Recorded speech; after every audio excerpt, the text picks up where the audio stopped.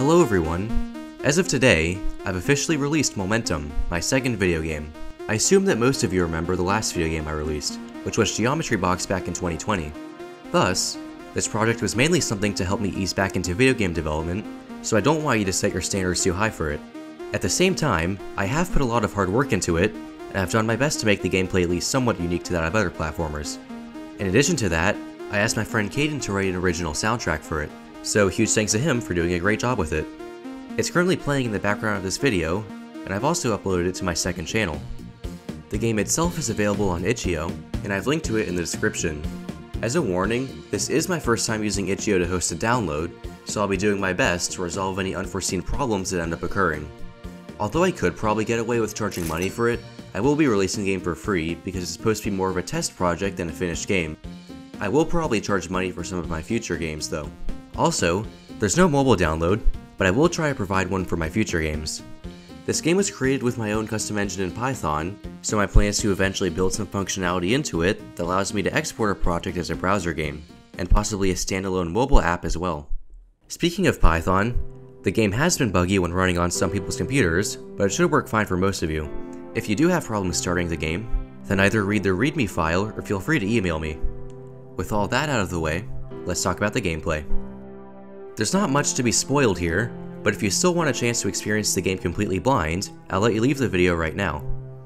So, when you first load into the game, you'll spawn in a gray area without much going on. This is the tutorial section, and it's the first of 8 areas in the game. Its main purpose is to give you a feel for how the game's physics work. The game is called Momentum for a reason, and that reason is that its physics differ from those of most platformers. In normal platformers, the player is able to reach some maximum speed in a short amount of time, after which they'll be able to stop quickly if they release the movement button. The difference in this game is that it takes much longer to gain speed, but there's no cap on what speed you can reach. This does initially take some getting used to, but it also allows for many maneuvers that wouldn't be possible in normal platformers. This movement system unintentionally gave it some real rage game aspects, which wasn't originally planned, but I was more than happy to go with it. I would say that the movement physics are the first of the game's two selling points. Now, let's move on to the second one, abilities. As the player progresses through the game, they'll have the opportunity to gain abilities. Abilities appear as these floating orbs, and once picked up, will permanently be granted to the player. The player will get one ability from each of the seven remaining areas, and I'll briefly give an explanation on what each ability does. The first ability you'll get access to, and probably my favorite one, is the rotation ability. When you use it, it rotates your current velocity vector 90 degrees counterclockwise. So, if you're running rightward really fast, using it will launch you up. If you're falling down, you can cancel your momentum by launching yourself to the right. You get the gist of it. Second is a simple wall jump ability. It keeps most of your previous momentum while also propelling you upward. Third is a stomp ability that can allow the player to gain momentum while also granting the ability to stomp on enemies. Fourth is a teleportation ability that launches the player forward in their current direction, allowing them to bypass potential hazards such as spikes. This doesn't allow them to go through solid blocks, however. The fifth ability gives the player an inventory slot. It can be used to pick up and drop physical items within the level. Sixth is what's called the rope ability. It allows the player to use a tether-like object to connect to these hooks, and then slingshot themselves after stretching it to its limit. The seventh and final ability is probably the most underwhelming. It allows the player to glide at a constant velocity. With the two main gimmicks out of the way, I can now give a more general overview of the game's progression and features. As mentioned before, there are 8 different areas, each with a different song, background, and block template. Instead of each area being part of its own level, the entire game is loaded into memory at once, which allows continuous transitioning between different areas of the game instead of having a loading screen between them. Your main goal is to progress through each area to reach the end of the game.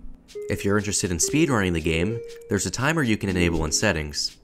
The gameplay of Momentum is pretty linear, meaning there's one clearly defined path you're expected to take instead of it being more open-ended. However, there are still many individual sections of the game that let you choose how you approach them. Also, because of the sheer number of moves the player can pull off using their abilities, there are probably many skips you can use that I've yet to notice. After traversing the whole world, you'll be able to win the game, after which you'll see how many deaths you have throughout your playthrough. As mentioned before, you have the option to replay the game and attempt a faster time, or just play it again for leisure.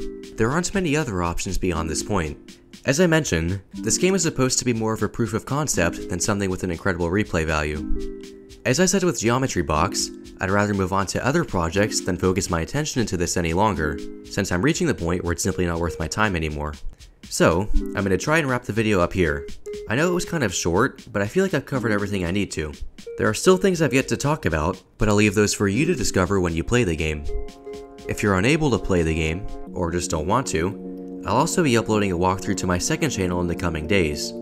So, thanks for watching, and an extra thank you to those who play it. Now, let's cue the end screen.